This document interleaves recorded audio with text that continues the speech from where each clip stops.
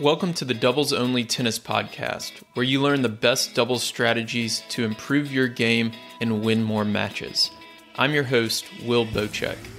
This podcast, my website, and my weekly newsletter all focus on the goal of better understanding the sport of doubles and helping players like you improve faster through actionable advice that you can use in your very next match. My goal is to provide the best doubles strategy resources in the world. And to do that, I study, analyze, and work with players at every level of the game, all the way up to the ATP and WTA tours. If you enjoy this podcast, I've created double strategy products that go even deeper if you want to take your doubles knowledge to the next level. At the end of this episode, I'll explain more about them, or if you want to learn more now, go to thetennistribe.com slash products. Here's today's episode.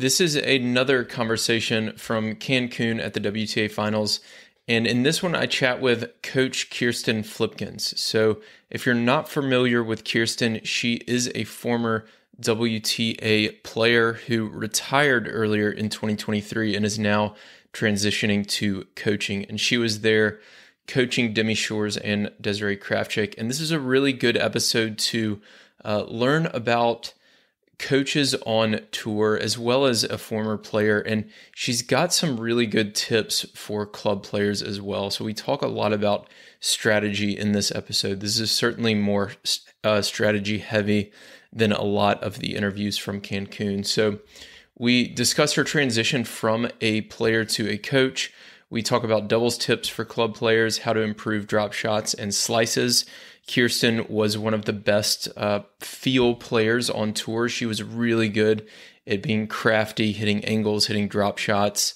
um, using a lot of variety. So she talks a little bit about how she got so good at that.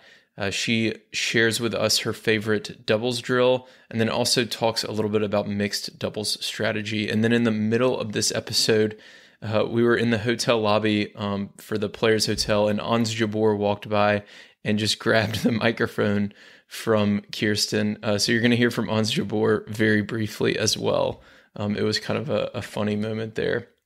And then at the very end, we talk about Kirsten's plans for 2024 and beyond, and then how to make doubles more popular. So, uh, whether you're a fan of the Pro Tour or you just want tips for your own doubles game, I think this is going to be a helpful, um, short, uh, about 15 minute conversation uh, so without further delay, enjoy uh, my chat with Kirsten Flipkens. Hey everyone, we're here at the WTA Finals again with Coach Kirsten Flipkens. Kirsten, welcome to the show. Thank you. So, how has uh, Cancun been for you uh, so far here, coaching Demi and Des? Uh, it's been a, a, pretty nice experience. I think the the place couldn't be any better uh, next to the mm-hmm. beach and stuff. But I think uh, yeah, court wise and everything, it was a um, tough preparation, I would say, because the yeah. match court was only ready one day before the matches started, and we had to play already on day one immediately, first match. So um, yeah, I mean, but yeah, circumstances have been the same for all of the players, so um, we'll have to take it as it comes. Mm-hmm. How do you keep them ready during all this time off and all these schedule changes? Is there something you're thinking about? Um, trying to communicate to them or to keep like the focus high during these off days? It's uh it's pretty tough I have to say because we were scheduled to play Sunday Monday first of all yeah. and then um, luckily we had um, an hour practice in on Monday before we got cancelled um, at night um, but yeah it's tough because every time you're practicing you're thinking in function of the match tomorrow or later mm. today um, and then yeah you get rained out and you've been switching opponents from one day to the other because we were supposed to play Melichar Perez and then mm-hmm. um, so they moved us now to Thursday and Friday probably which is not easy because then every day you have to adjust to the weather conditions to see how the players are feeling and um, yeah so to make the schedule for the practice is not always that easy but you also have to go by the feeling of the players and make sure they're 100% fit uh, physically and mentally to go mm-hmm. into the match How's the uh, the transition for you been from player to coach? Um, honestly, it hasn't been uh, hard at all because yeah. I made up my mind already. Um, last year, basically. Um, mm-hmm. Last year, Wimbledon, I stopped playing singles. This year, Wimbledon, I stopped playing doubles. So for, for me, the last year was just um, about yeah enjoying my time still on the tour and um, mm-hmm. playing the tournaments that I wanted to play and uh, um, I had already in mind that I wanted to stay in tennis um, after my career, just not, yeah, not full time, let's say, like not sure. traveling 35, 40 weeks anymore. yeah. But uh, no, I, I always enjoyed helping players. And um, it's also something I think that I had myself. Um, I had a good eye, I think, as a tennis player, tactically, um, mm-hmm. in singles as in doubles. And um, I think that's, yeah, that's something I want to give um, give my experience to to the other players. Yeah. Um, as a player, you were definitely one of the more um, crafty and I feel like smarter players on tour. Um, a lot of the listeners are, are, club level doubles players. What are some uh, some tips or some advice you can give to them in terms of double strategy and tactics uh, that, especially as it relates to to your own game? Yeah. Um, well, I think on club levels and stuff, I think it's always, um, first of all, the net player has to be as pretty close to the net because I think some club level players, uh, net players, they're standing too far from the net. Okay. So, you know, if you want to be aggressive in a doubles play, you always have to look for the ball. And the closer you are to the net, the easier volley you will, you will get. Mm-hmm. Um, of course, you have to watch out for the lob. Um, but that's another thing. I think it's a, it's just important, you know, like to to have a good strategy and to to go point by point and um, yeah, look also on the other side of the net how the mm-hmm. other opponents are playing if they have a weaker forehand or backhand and mm-hmm. go from there. Yeah. Yeah, we were talking um, a little bit before we started recording about a, a, player, and we won't name who it is, but but we were talking about uh, how certain players have trouble with uh, slower pace balls. And I feel like at the club level, especially, a lot of players want to hit the ball really hard all the time mm-hmm. when that's not always uh, the best strategy. So that kind of, I guess, relates a little bit to what you're talking about the other side of the net, how important that is. Um, mm-hmm. and you're definitely one of the best uh, to do that on tour for sure. Mm-hmm. Um, what about some of the you're really good at like the angles around the net and drop shots and things like that. Is that something uh, that you drilled and, and, trained a lot, or um, is it something that you just naturally always had and used in matches, or maybe a combination of the two? Um, honestly, I think I was since I was a kid. I always loved to play with the ball, you know, to hit drop shots or okay. to hit slices and stuff, um, as well in singles as in doubles. And I think um, that was one of my strengths that I I think from from nature I got a lot of talent, uh, meaning that I had good hands, and um, I'm not that tall, so I had to use um, the creativity of trying to break the other opponent's um, strength. And um, as you said, I think also in the doubles, I think it's so important to try to break down your opponents mm-hmm. by using those those hands and by playing drop shots when they don't expect it, drop volleys, and mm-hmm. Um, or do a chip and charge stuff like that um, chip lob and you know use use those tools and um, to try to break down uh, the opponents. Is there a, a favorite doubles drill or um, uh, like feeding sequence or something like that that, that you have that, that players might uh, be able to use to to improve some of those skills? Um actually one of one of my favorite drills is just to be two up two back Okay. Um, and first volley has to go deep, and then from there on, you can use the whole court, which means that the two players in the back or in the back. So the a good play to obviously play is a drop shot or a shorter ball mm-hmm. to make them come forward after that first volley. After yeah, yeah, exactly. So first volley behind the service line, and from that moment on, you play the point and that's yeah that's that's one drill that i like to to try to use those angles and try to use those drop shots a little bit. Mm-hmm. um, and yeah that's uh that's one of one of my favorites. From a, a coaching perspective now uh, i was talking with demi a few minutes ago about um, how much information different players want. So um, i do a lot of analytics and think like mathematically very much and love to get like as much data as possible. Demi's not like that at all, right? She um, doesn't want as much information. How do you balance that as far as communicating uh, information to uh, the players?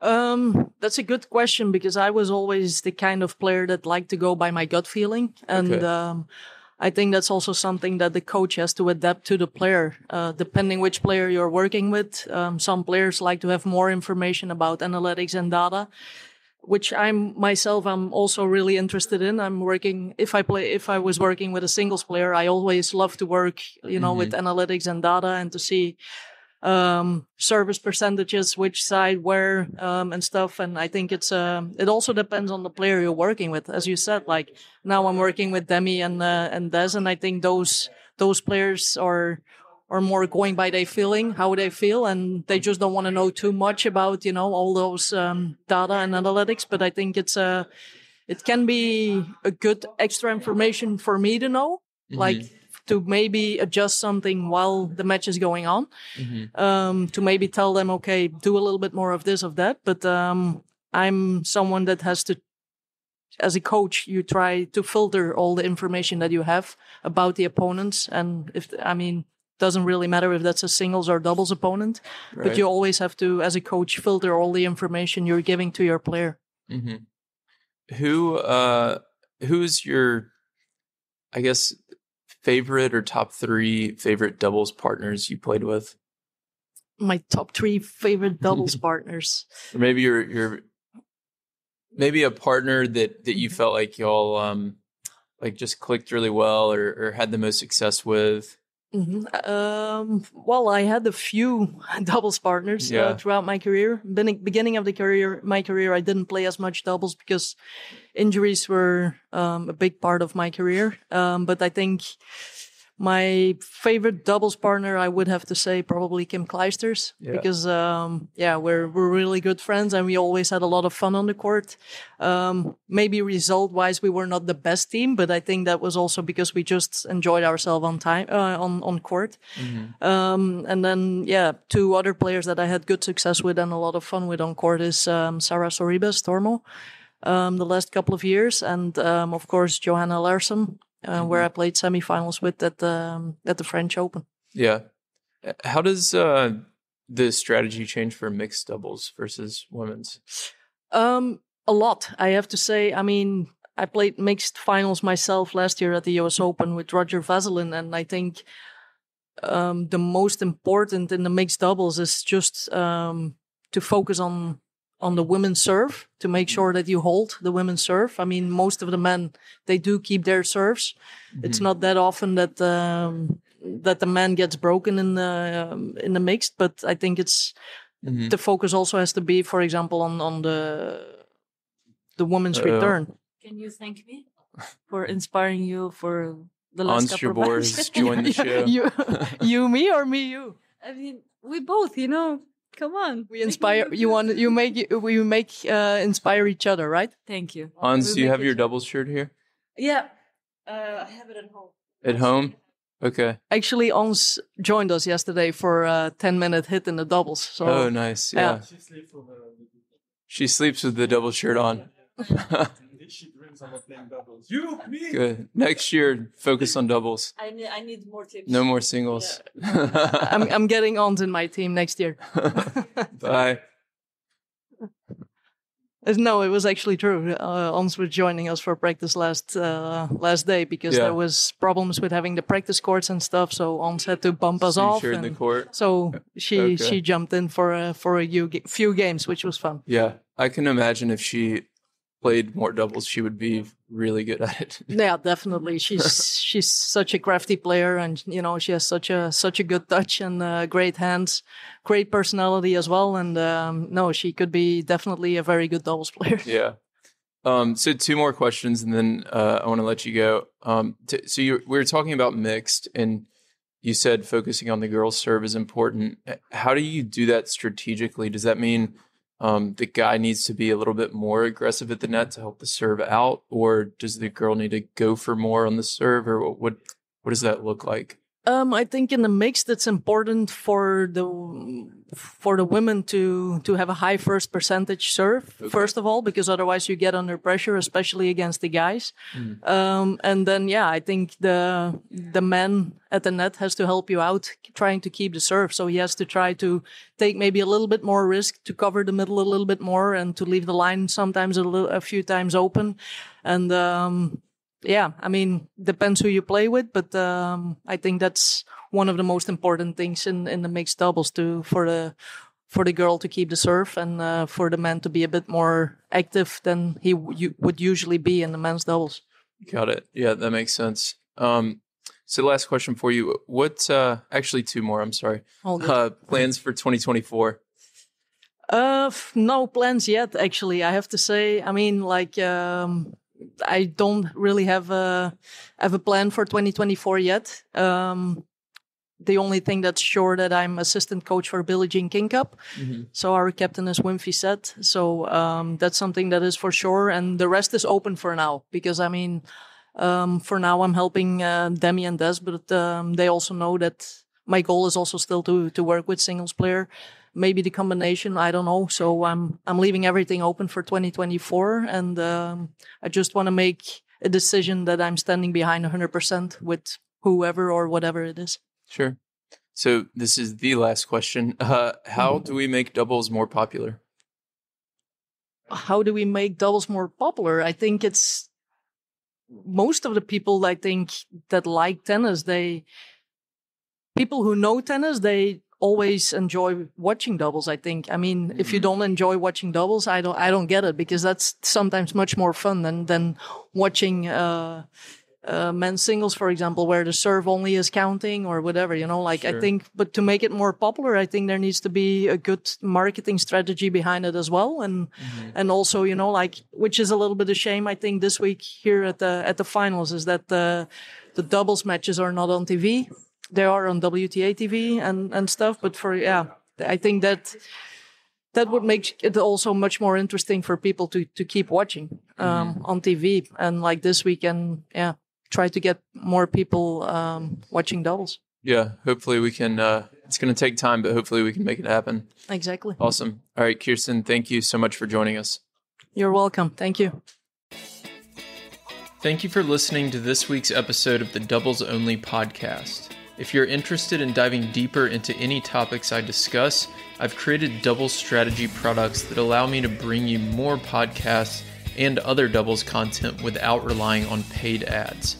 I have ebooks and courses that help you make better strategic decisions during matches and become the smartest player on the court. Go to thetennistribe.com slash products to learn more. You can also join my free weekly double strategy newsletter that includes video lessons and more on our homepage.